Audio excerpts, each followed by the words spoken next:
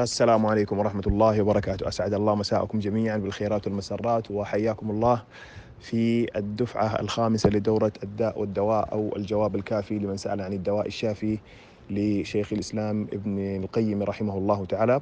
وهذا الكتاب لا يجهله أحد في أعمال القلوب والسلوك وكذلك الدعاء وتصفية القلب وتعليقه بالله سبحانه وتعالى. هو كتاب لا يحتاجه الصغير والكبير والذي درسه من قبل والذي لم يدرسه من قبل. وقبل أن أتكلم عن التفاصيل عن تفاصيل الدورة أمران مهمان. الأمر الأول يعتب علينا كثيرون أن الإعلان عن الدورة يعني لا يكاد يصل إلى العدد المرجو. فنرجو من كل من رأى الإعلان أو شارك أو حتى إن كان لا يريد الاشتراك أن ينشره في مجموعاته وبين أهله وأحبابه وأصحابه. التنبيه الثاني أرجو أن تسمع هذه الصوتية التوضيحية سماعا جيدا لأن فيها الجواب عن كل ما الأسئلة التي تنشأ في أذهانكم بعد ذلك.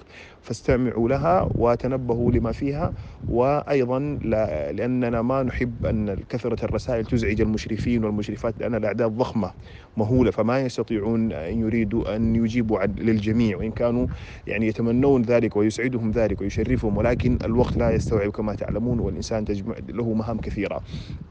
فأولا الدورة هذه هي دورة مسجلة دورة مسجلة.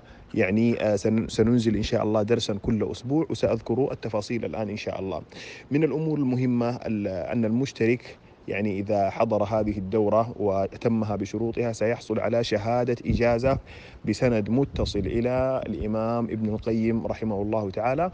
وما معنى الإجازة وما فائدتها؟ هذا كله موجود في قناتي على التليجرام تجدون إن شاء الله بيانا حول هذا آه، الأمر.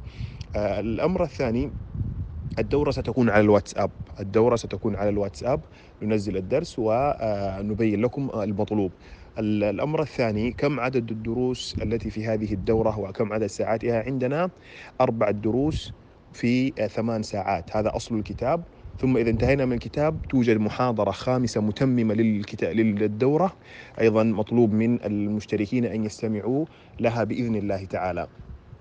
طيب المدة التي ستكون فيها هذه الدورة هي المدة شهر واحد بإذن الله تعالى في كل أسبوع درس درس واحد وقد يمتد يعني إلى شهر وأسبوع إذا إذا أضفنا المحاضرة الخامسة بإذن الله تعالى. آه، طيب وفي كل أسبوع سننزل درسا واحدا. طيب السؤال الذي يكثر السؤال عنه هل يجب أن أنهي المقرر الذي أرسل في نفس اليوم؟ لا. الجواب لا يجب أن تنهيه في نفس اليوم. المحاضرة ستنزل إن شاء الله تقريبا كل خميس أو كل أربعاء غالبا الخميس تنطلق الدورة إن شاء الله. فكل خميس سننزل درسا واحدا. الدرس مدته ساعتان. فأنت تقسم هذا الدرس الدرس الذي هو بساعتين تقسمه على مدة الأسبوع كاملا. إن أردت أن تنهيه في نفس اليوم بالضوابط وعدم التسرع مع التأني وتدوين الفوائد والاستفادة فبها ونعمت. الحال الثانية إذا كان إذا كنت مشغولا أو عندك ظروف وأحوال فيمكن أن تستمع كل يوم ربع ساعة عشرين دقيقة نصف ساعة حتى تنهي الشريط. عندنا أربعة أشرطة كما ذكرنا أربعة مقاطع في كل مقطع ساعتان. فهكذا يعني تتم هذا الأمر بهذه الطريقة بإذن الله تعالى.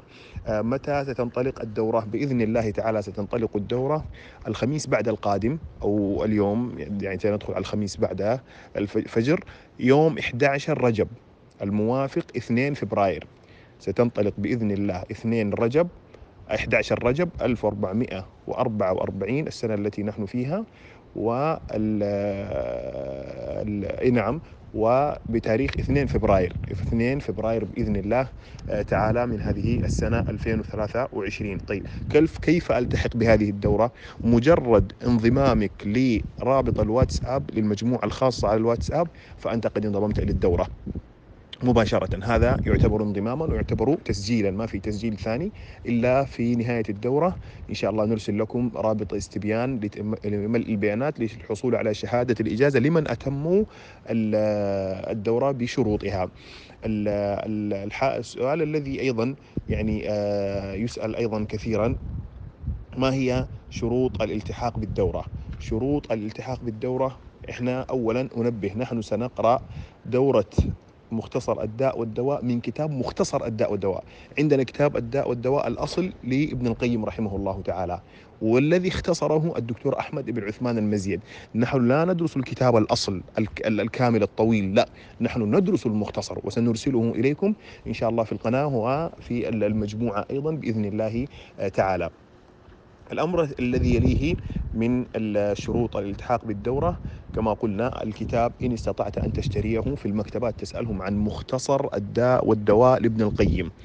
الكتاب غير موجود ما عندك المبلغ لا تعرف أين تبحث عنه سنرسله إليكم بي دي إف. إما أن تتابع عن طريق الجوال أو الأفضل اقتراح ثاني أن تطبعه. تذهب إلى المكتبة. الكتاب في كم وتسعين ورقة. يمكن أن تطبعه. من المكتبة استأذنا المؤلف وسمح لنا بهذا. فيمكن أيضا أن تطبعه. أوراق من عندك في البيت أو في الاستوديو أو مركز التصوير في حيك وتتابع منه وتكتب الفوائد على طرف آه، الكتاب. الشرط الثالث تدوين الفوائد على طرف الكتاب أو في دفتر أو نوتة أو أو كناشة ملاحظات.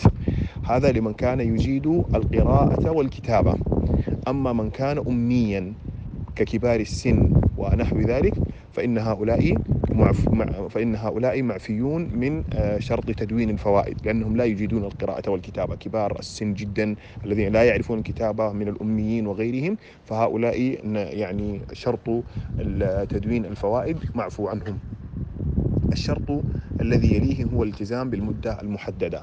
لأننا كثيرا ما نشتكي من الذين يخرجون لنا بعد الانتهاء من توزيع الشهادات وكذا أنني أتممت بعد ذلك أنني كذا أنني كذا. فنرجو من الجميع أن يلتزم بالمدة المحددة حتى لا يكثر الإحراج بينه وبين المشرفين والمشرفات. طيب سنرفع لكم استمارة لملء البيانات بعد الانتهاء من الدورة. بعد الانتهاء من الدورة كاملة بإذن الله تعالى لملء البيانات والاسم صحيحا كما سيوضع إن شاء الله في شهادة الإجازة بإذن الله تعالى. والله مطلع ومراقب لكل طالب. فالمقصود أن الإنسان إذا اشترك في هذه الدورة لا يكن همه متى تنتهي ولا يكن همه متى سأحصل على شهادة الإجازة بل يكن همه الأكبر وغايته العظمى وهدفه الأسمى أنني أستفيد وأفيد. وهذه الدورة أني إذا استفدت منها أبلغها طلابي أبنائي بناتي جيراني أصدقائي في الكشتات في الطلعات في الروحات في الجيات وهكذا. فيكون هذا الكتاب يعني حاضرا في حياتنا وخصوصا أننا مقبلون على شهر رمضان. ونسأل الله عز وجل أن يعيننا على تنقية قلوبنا وتصفيتها وتهذيبها لما يحبه الله ويرضاه. فهذه هي يعني الخلاصة وهذا التوضيح البياني الذي نحب أن الإنسان أن يسمعه وإن لم يفهمه فليسمعه مرة ثانية وثالثة ورابعة حتى لا يكثر من السؤال للمشرفين والمشرفات. ونسأل الله عز وجل لكم عظيم النفع ورفع القدر محدثكم سامي هوساوي. السلام عليكم ورحمة الله وبركاته.